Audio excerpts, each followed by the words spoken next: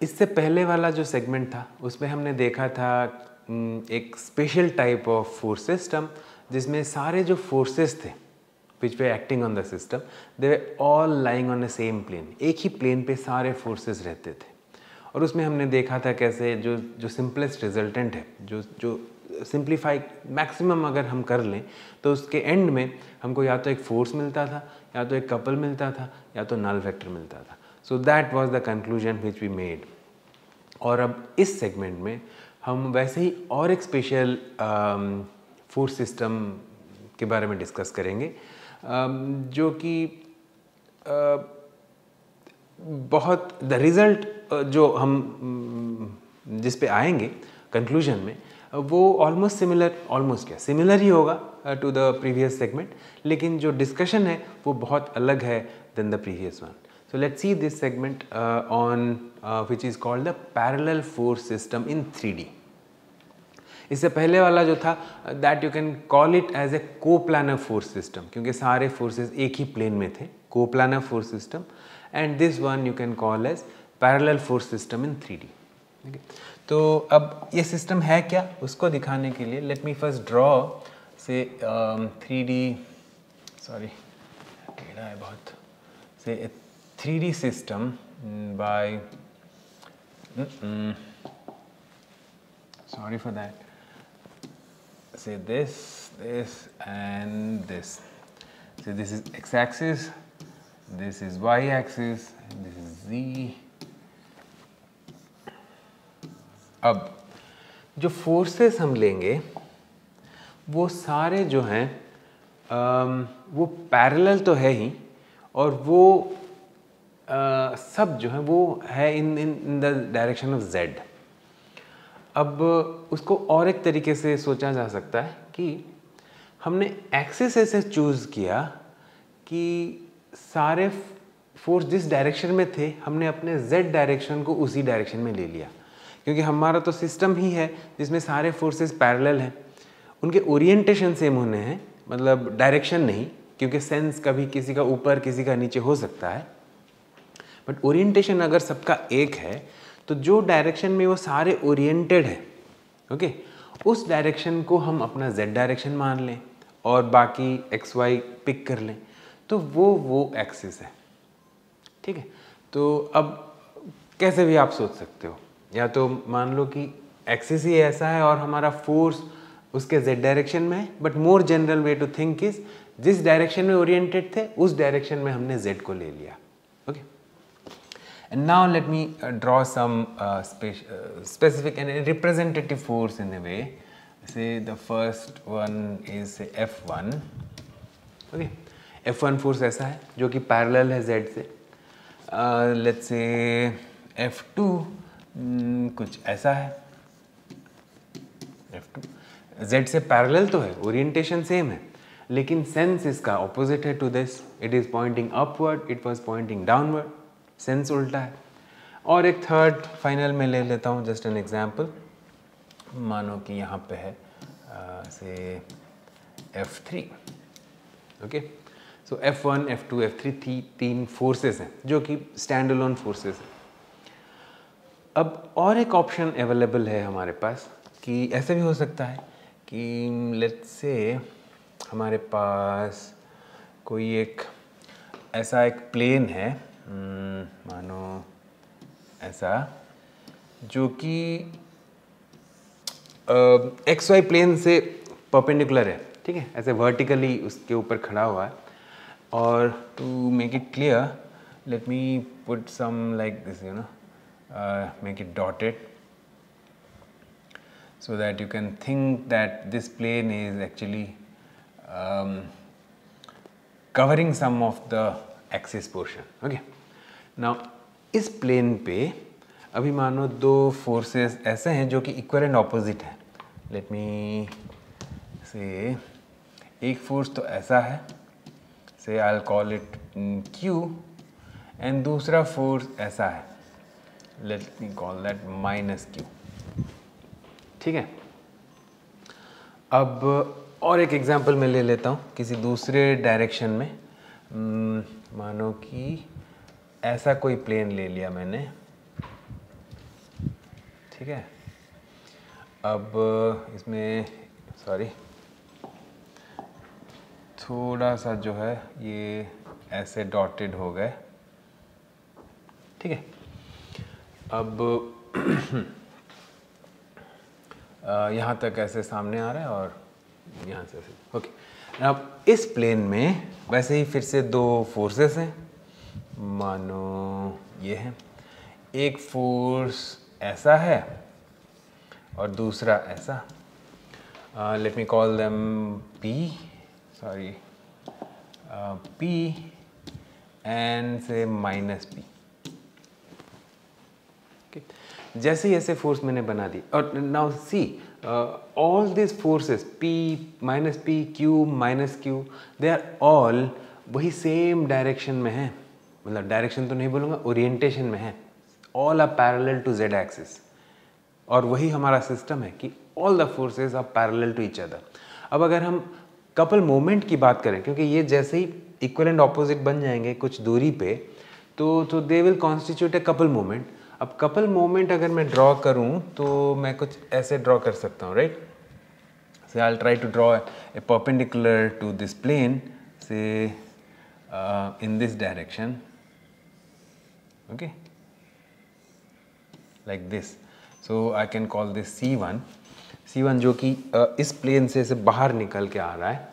और वैसे ही ये डायरेक्शन तो सही है ना? हाँ। और इस डायरेक्शन में एक प्लेन जो कि इस कपल मोमेंट जो कि इस डायरेक्शन में जा रहा है। Let me draw something like this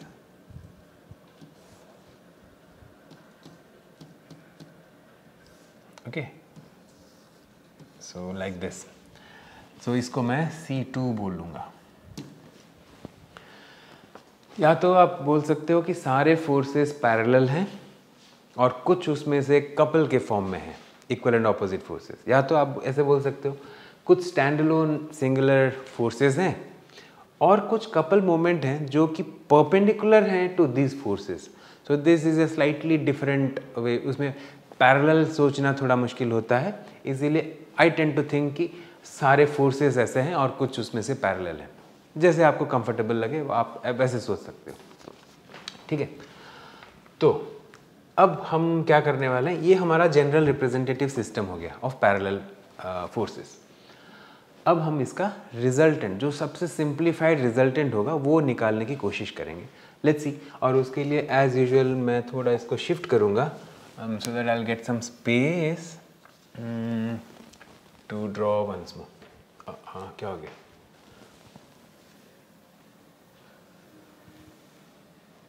okay so I'll, I'll move it here okay I get some space now okay now let me draw again the um, axis uh, how does it look like say this one And this one ठीक है?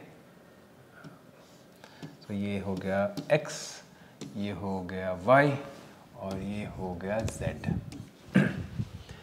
अब, ये जितने forces थे parallel forces थे मतलब couple वाले नहीं, जो अलग से स्टैंड अलोन फोर्सेस थे, उनके बारे में मैं पहले सोच रहा हूँ। अब उनको हमने देखा था कि हम तो मूव कर सकते हैं फोर्सेस को हाँ अलग बात है कि हमको कपल वगैरह ऐड करना होगा वो हम उस पर बाद में आएँगे। पहले हम मूव करते हैं सारे फोर्सेस को पैरेलली और क्योंकि ये सब ऑलरेडी पैरेलल हैं तो सबको मैं लेके जा सकता हूँ जो कि ओरिजिन है यहाँ पे। ठीक है? और लाइन ऑफ़ एक्शन पे तो मूव कर ही सकता हूँ क्योंकि हमने बोला था कि ट्रांसमिसिबल है सारे फोर्सेस पॉइंट नंबर टू तो अब मैं आ, वैसे ड्रॉ कर देता हूँ सारे फोर्सेस को। Say F one looks something like this here ठीक है? एफ़ थ्री भी वैसा ही कुछ है। से एफ़ थ्री और एफ़ टू वैसा कुछ ऊपर की तरफ़ है, ठीक है? ऐसा कुछ दिख रहा है। एफ़ टू तो ऐसे तीन फोर्सेस को मैंने जेड एक्सिस पे ले लिया।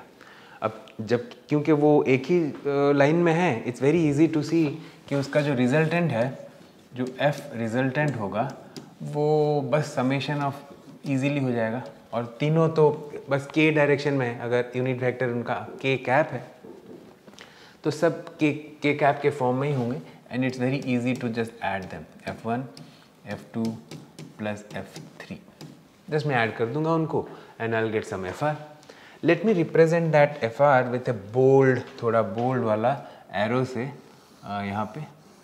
ठीक है? ऐसे? And I call this F R ये तो हो गया फोर्स की बात हमने शिफ्ट कर दिया। अब हम ऐसे विदाउट अफेक्टिंग द सिस्टम तो नहीं कर सकते और वो करने के लिए हमको एक कॉम्पेंसेटरी कपल मोमेंट लगाना होगा। वो कैसे लगेगा? अब एक बार देखो आप।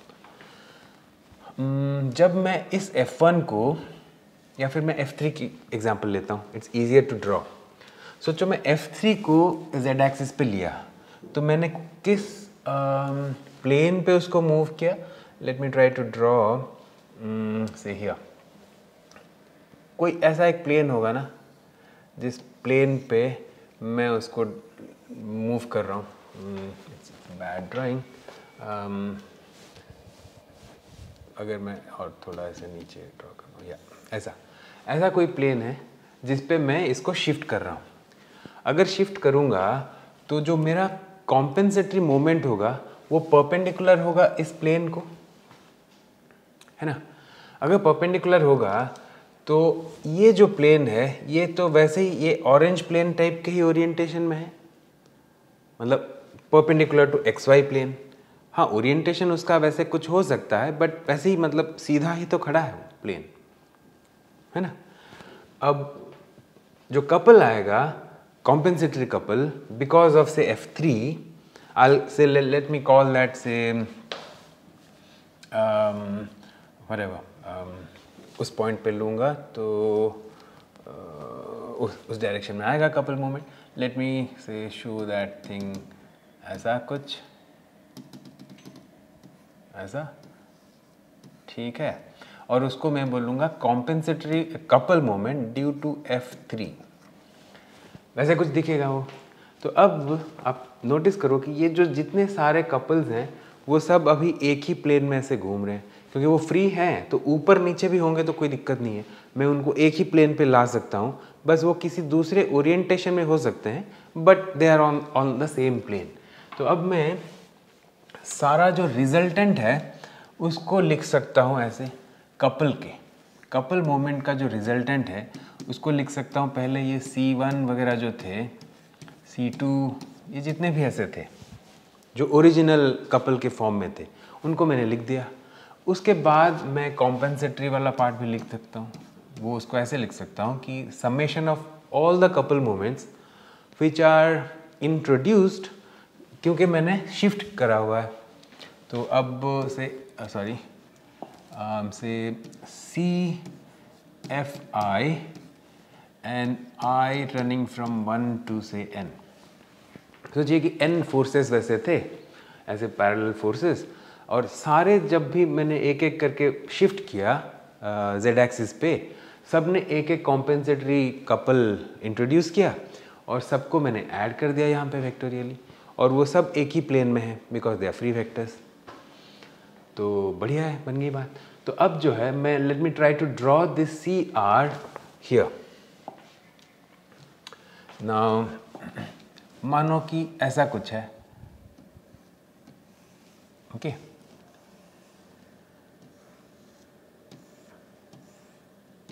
ये हो गया आपका C R this will lie on the X Y plane क्योंकि ये फ्री वेक्टर है, कहीं पे भी होगा तो मैं इसको तो लेके जा ही सकता हूँ सी एक्स वाई प्लेन पे, और मैं ओरिजिन पे भी इसका टेल को लेके जा सकता हूँ, कोई दिक्कत नहीं है फ्री वेक्टर है।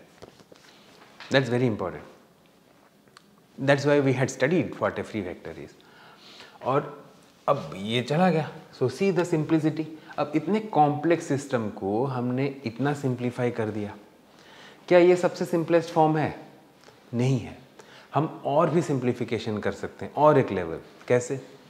हमने पढ़ा था fourth step I think four B कि अगर कोई सिस्टम में एक कपल मोमेंट है और एक फोर्स है तो हम उस कपल मोमेंट को भी हटा सकते हैं by appropriately moving the force ठीक है? तो अब वो देखते हैं, वो करने की कोशिश करते हैं। तो अब उसके लिए हमको ये ज़रूरी है कि ये एफ़ आर जो आया है, वो ज़ीरो ना हो। तो अभी फिर से लास्ट केस की तरह प्रीवियस जो सेगमेंट था उसमें तो ये केस वन है, वो है कि एफ़ आर जो है वो ज़ीरो नहीं है। ठीक है? ये ज़ीरो वेक्टर अगर नहीं, क्योंकि ज़ीरो हो जाएगा तो हम तो कुछ कर भी नहीं सकते। अब अगर वो ज़ीरो नहीं है तो हम इसको नलीफाई करने की कोशिश करते हैं। अब कैसे करेंगे? अब हम उस फोर्स को मूव करेंगे तो एक कॉम्पेंसेटरी कपल बनेगा। और वो कॉम्पेंसेटरी कपल अगर एग्जैक्टली exactly इसके ऑपोजिट डायरेक्शन में होगा और मैग्नीट्यूड सेम हो जाएगा तो कैंसिल हो जाएँगे। लेकिन अब अगर मुझे बनाना है एक कम कपल मोमेंट जो कि इस डायरेक्शन इस ओरिएंटेशन में हो तो जो मूवमेंट का प्लेन होगा वो मुझे इसके परपेंडिकुलर लेना पड़ेगा। तभी ना मतलब एक कपल मोमेंट बनेगा जो कि इस डायरेक्शन में होगा। Let me try to draw that uh, plane which is perpendicular to this. Let's say this is that plane. Okay. ठीक है? मानिए कि ये जो प्लेन है, ये इस ये जो कपल मोमेंट आया है, उससे परपेंडिकुलर है। ठीक है? अब मैं इस फोर्स को, जो एफ़ आर है, उसको वैसे शिफ्ट करूँगा इस प्लेन पे रह के कि ये कॉम्पेंसेट हो जाए। कैंसिल हो जाए नलीफाई हो जाए तो क्या करूँगा? Let's say there is a point here maybe say let me call say point A ठीक है? अगर ए पॉइंट है, मैं इस फोर्स को जो वाइट कलर है बोल्ड एफ़ आर मैं यहाँ पे ले लूँगा। ठीक है? सोचिए कि यहाँ पे आ गया। ये एफ़ आर है अभी। यहाँ था पहले, मैंने यहाँ शिफ्ट कर दिया पैरेलली ठीक है? खाली शिफ्ट किया। बाई डिस्टेंस से इस डायरेक्शन में वो डी है, मानो आप। उस प्लेन पे। अब अच्छा इस डायरेक्शन में करेंगे तो कौन से डायरेक्शन में कपल मोमेंट आएगा? या so towards the inside of the blackboard है ना? तो let me try to draw that particular what do I call? Okay uh, vector. So, ये एग्जैक्टली ऑपोजिट डायरेक्शन में होंगे। ठीक है?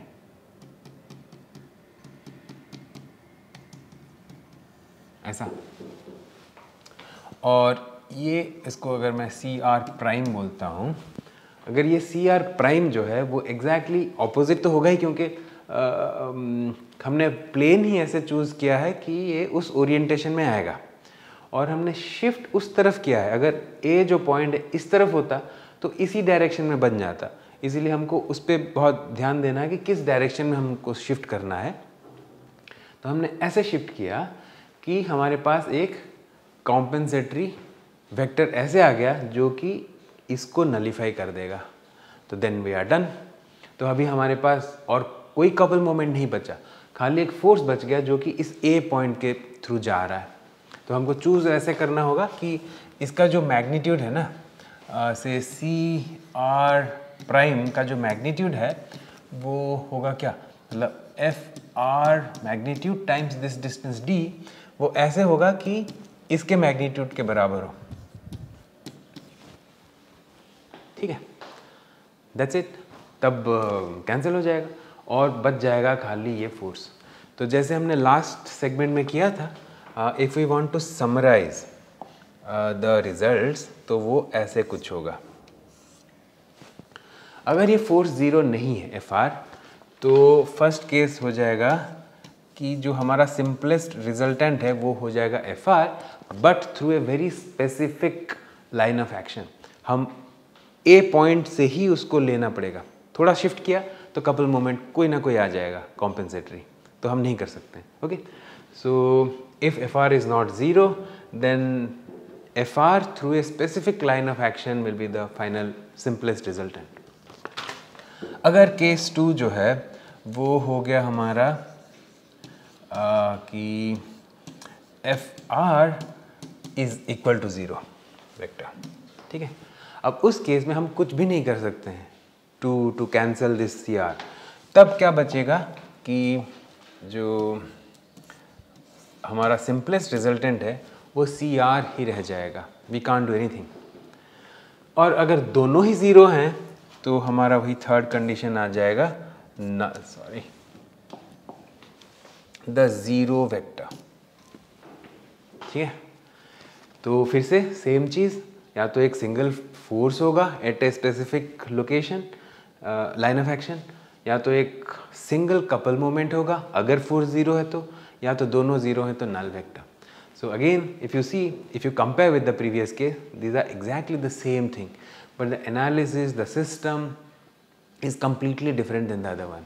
The other one was क्या था कि को प्लानर था इस केस में सारे पैरेलल हैं बट इन थ्री डी ठीक है?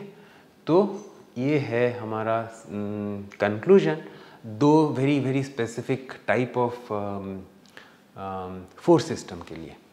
ठीक है? अब जो इसके बाद का जो सेगमेंट होगा, उसमें हम इसी का थोड़ा एक्सटेंशन होगा, उस पर जाएँगे, देखेंगे कि एक कॉन्सेप्ट है जो कि आपने पहले ही पढ़ा हुआ है आपके ट्वेल्थ स्टैंडर्ड में। उसी कॉन्सेप्ट को इस पर्सपेक्टिव से देखेंगे, इस नज़रिए से देखेंगे कि वो concept of centre of gravity centre of mass जिसको आप बोलते हो ना, उसका जो कॉन्सेप्ट है, वो आया ही है इसके थ्रू तो वो हम डिस्कशन करेंगे और उसके बाद जाएँगे टू द सिचुएशन वेयर सब कुछ मतलब पूरा जो मोस्ट जनरलाइज सिस्टम है फोर्सेस का, उसको देखेंगे और उसका जो सिंपलेस्ट रिजल्टेंट क्या होगा, कैसे निकालना है, वो हम डिस्कस करेंगे। So see you in the next segment